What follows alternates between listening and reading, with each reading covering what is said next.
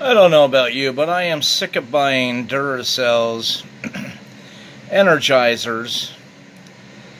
Price of batteries have shot up, skyrocketed. It's through the roof. It's just going to drain them, deplete them, and what do you do? Throw them in the trash.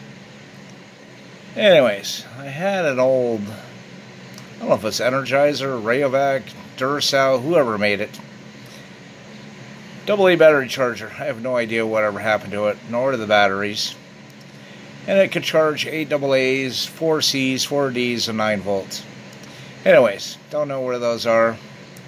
So I bought this in the meantime. You know, we all have a radio.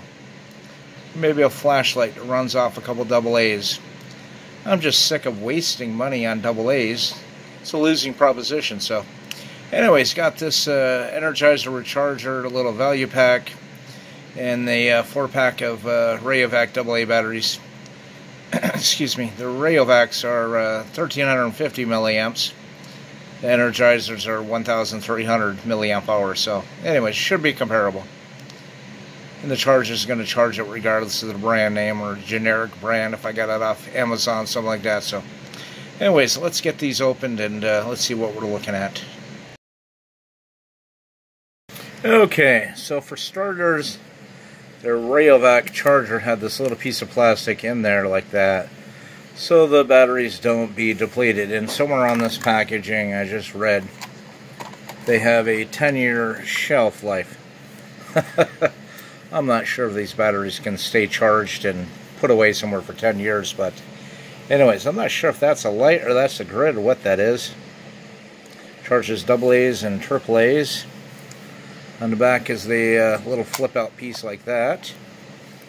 See the battery sort of thing. I guess it's a good way to poke them out with your finger. We got the Rayovac batteries.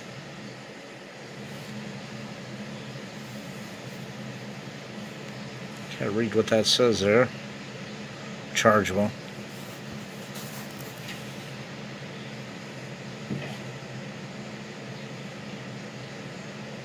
There we go on the left hand side by my thumb. 1350 milliamp hours. So let's get the energizers out and see what they say. Okay, got the energizer rechargeable. Some sort of serial number there stamped into it.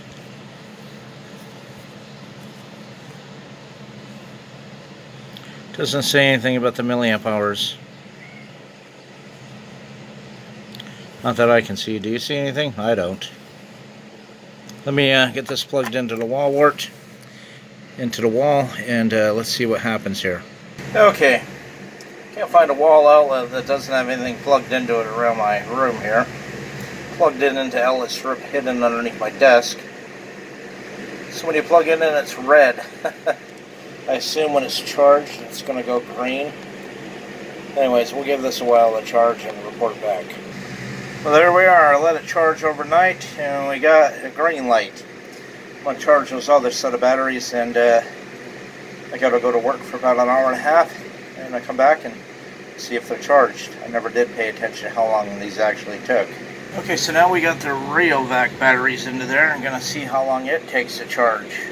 Okay, I came back from work. It's been about two hours, and they're still charging, so this is not a fast charger. It's a slow charger. That's good. It's better to slowly charge your batteries than fast charge them. They last longer that way. And the package said something like, you know, 370 charge cycles off a set of batteries. So 10 bucks for four batteries, 370 times of use. it's a heck of a lot cheaper than Alkalines. Okay, apparently these batteries come depleted as well. It took about four to five hours for these to charge. Got a green light on them, so now I guess I'm all set to use the FBA 39 battery pack with the Yaesu FT5RD, DR, whatever the heck it is, and do a battery RF power output test to see what this uh, little battery pack provides for RF on the uh, FT5D. So watch that video when that comes out, probably about a week later.